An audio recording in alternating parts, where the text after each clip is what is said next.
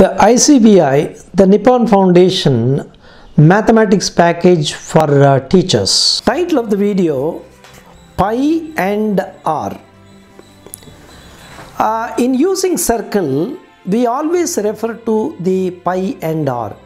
So when we take a circle uh, to find out the circumference, uh, we use the formula 2 pi r.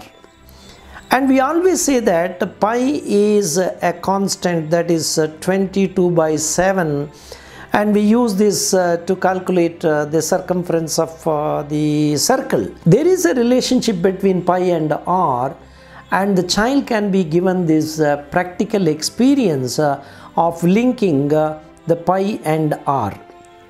Now let us take a circle and then fold the circle to get a diameter and then we fold it again vertically to get the radius. Now what is the relationship between the diameter and the radius? the diameter of the circle is uh, 2 times of the radius. Now, the diameter and the circumference of the circle are linked in certain proportion. So, let us uh, find out that uh, using real objects and giving practical experience to the child. Now, let us take a plate let us take a plate and uh, let us find out the circumference of this let us find out the circumference of this using a paper strip right? We have used this paper uh, strip uh, to find out the exact uh, the circumference of the plate. Now we have to find out uh, the radius or the diameter. Now in a plate like this, it is easy to find the diameter than the radius because it's very difficult to find out the center of this uh, plate. Uh, now have an approximation of uh, the upper half and the lower half and then uh, try to find out uh, the diameter of this uh, plate.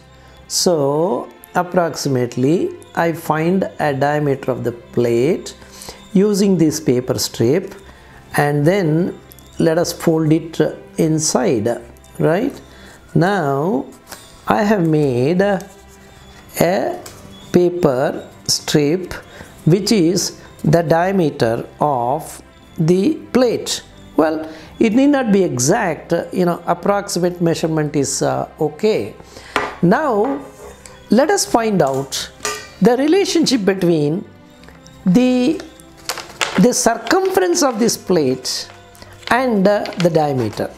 So when you say 2 pi r, 2 pi r is nothing but uh, pi into 2r that is pi d.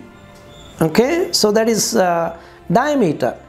Now let us find out how many times of the diameter we get uh, in the uh, circumference this is one and uh, you, you can simply fold that uh, paper and uh, two right and then you can turn it uh,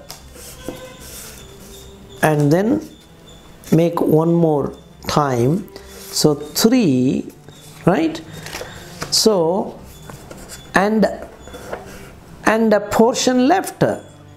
Well, this is nothing but uh, the one seventh of the portion. So, what happens, you know, the diameter is linked to the pi in such a way that uh, the pi is uh, 3 1 by 7th time of the diameter. The diameter, the pi is, the pi is approximately 3 1 by 7th times of uh, the d.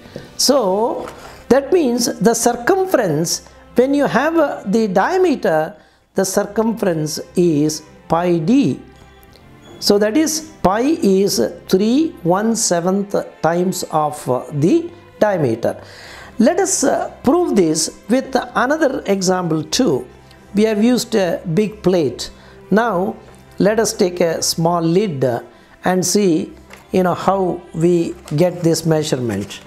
Now let us take a small lid.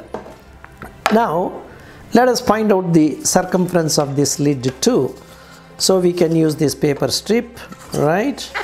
Okay, and then it comes here and then there you fold it and then uh, and then take it out to make it as the circumference of the lid so this is the circumference of the lid now let us find out the radius now here the radius is possible because in this uh, lid uh, fortunately we have a center point.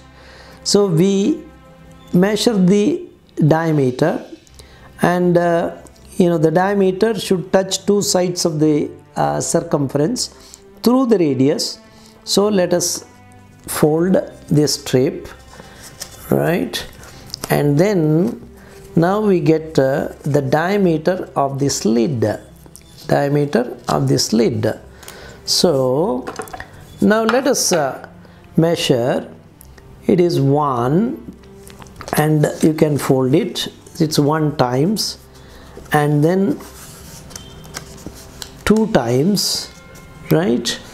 And then three times right? So one time two times and three times. And then you have a portion left right? So this is the one seventh of uh, the diameter. One seventh of the diameter. So 1, 2, 3, 4, 5, 6, 7 approximately. So when you look at the diameter and the circumference, you will always uh, find that uh, the circumference is 3 1 7th time of the diameter.